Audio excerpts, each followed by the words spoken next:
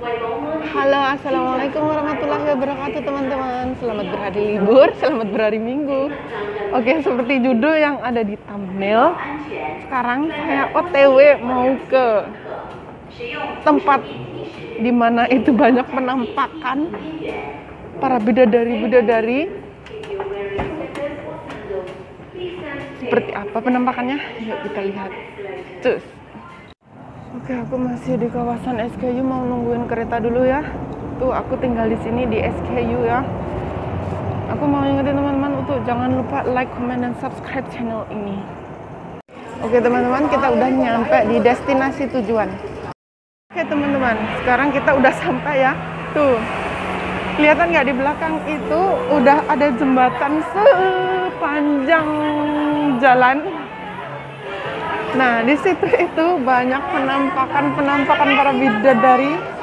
Makanya di sini tuh disebut dengan jembatan seribu bidadari. Oke, kita langsung aja naik ya. Ini aku dari ujung mau langsung ke ujung yang satunya lagi. Kalian tinggal lihat aja ya seperti apa sih bidadari-bidadari di Hong Kong itu yang bermukim di jembatan Seribu Bidadari ini.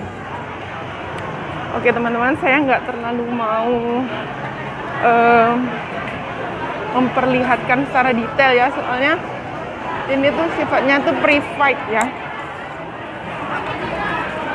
Jadi teman-teman,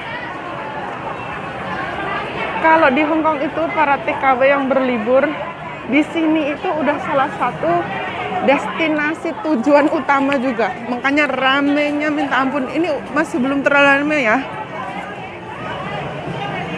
Soalnya masih pagi kali ya.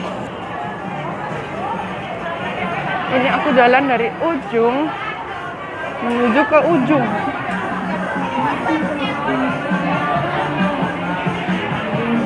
Bagaimana? Banyak penampakan bidadari yang cantik kan? Ini tuh sebuah jembatan ya. Terus kita tuh kalau libur tuh pada bawa gelaran bawa tikar ya teman ketemuan sama teman-teman di sini.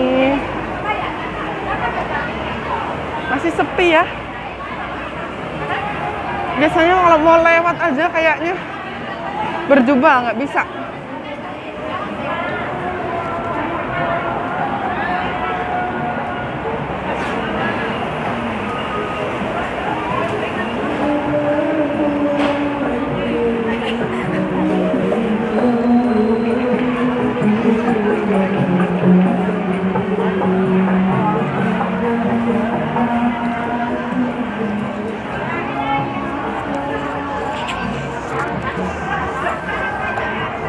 Nah, di sana itu adalah pasarnya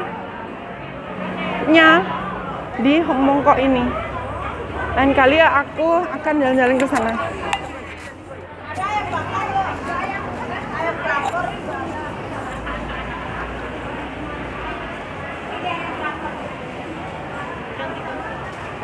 Oke teman-teman, itu tadi adalah penampakan jembatan Seribu Bidadari. Oke, kalau kalian suka dengan video ini, jangan lupa untuk like, comment, dan subscribe-nya.